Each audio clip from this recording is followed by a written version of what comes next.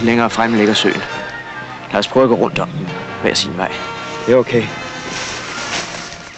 Maria, du skønne og dejligste fe. Du er nuttet og buttet. Det kan vi da se. Det er svært, så I kan dække det. Hvor er det dejligt at have dig hjemme igen. Lad mig se rigtigt på dem. Jeg tror med sanden, at du er blevet højere. Og stærkere. det er jo hårdt arbejde på sådan en farm, men jeg kan lide at være der.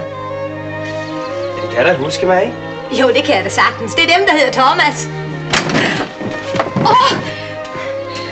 Det, det må de altså meget undskyld. Ja. Gør skam ikke noget.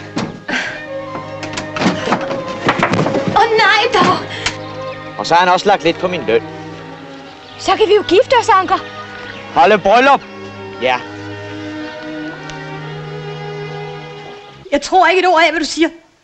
Og se så forsvinde ud herfra, før her kommer nogen. Ikke så hissigt.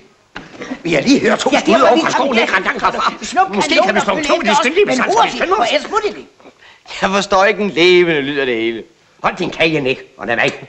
Smid så det gevær, og det skal være nu. Hør nu her. Du har sgu da ingen ret til at arrestere mig. Jeg har da heller ikke løsnet et eneste skud. Spar du dine forklaringer til at aflevere det til politiet. Åh oh, nej. Nu skyder de igen over i skoven. Det lød som om, det var tæt herved. Jeg tror lige, jeg går og undersøger det nærmere. Nej, Johannes. Jeg kan ikke lide, du går derover alene. Man ved aldrig, hvad der kan ske. Nå, snak, Anna. Hvad skulle der kunne ske? Jeg kommer snart tilbage igen. Så kan de i hvert fald ikke redde den. Nej, desværre. Jeg er forfærdelig ked af det. Mm. Så lad mig gøre det. Ride den til løbet?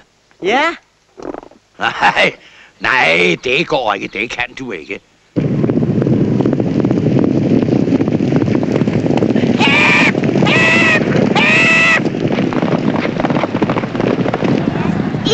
Satan, altså var det spændende.